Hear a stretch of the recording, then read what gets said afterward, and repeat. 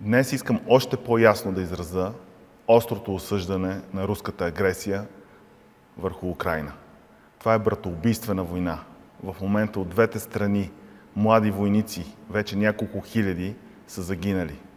Едновременно с това имаме и доста цивилни жертви, а и много голяма част от цивилното население в Украина се крие в споспирките на метрото, очаква всеки ден и всяка нощ да има унищожение на техните домове. Искам да ви уверя, че ние сме направили абсолютно пълен списък на българите в Киев, които искат да се евакуират.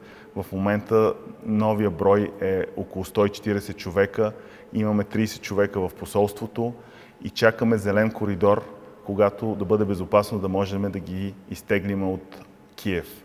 Българското правителство не може да стои така с затворени очи, когато виждаме мирни граждани под такъв голям риск в тази братоубийствена война. Казвам го пак отново. Братоубийствена война.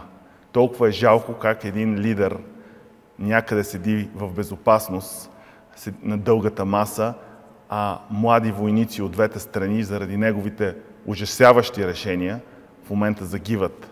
България се присъединява и към другите страни в Европейския съюз и НАТО, които ще подкрепят Украина с хуманитарна помощ и военно-логистична поддръжка.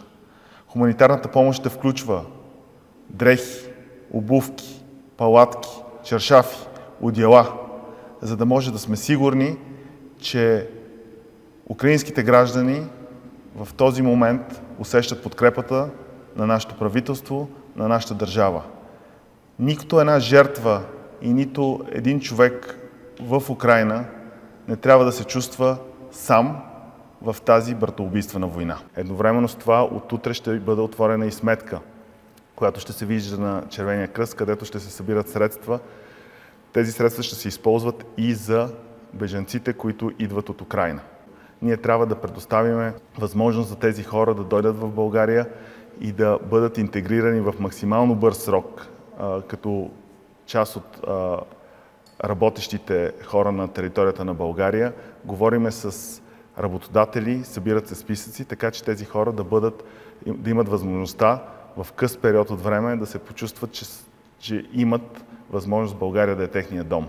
Нашите сърца с украинските граждани, които в момента са под голям риск и призоваваме ръководството на Руската федерация да се откаже от тази зловеща дейност, която прави в момента. Но Путин трябва да знае, че целият свят осъжда неговите действия.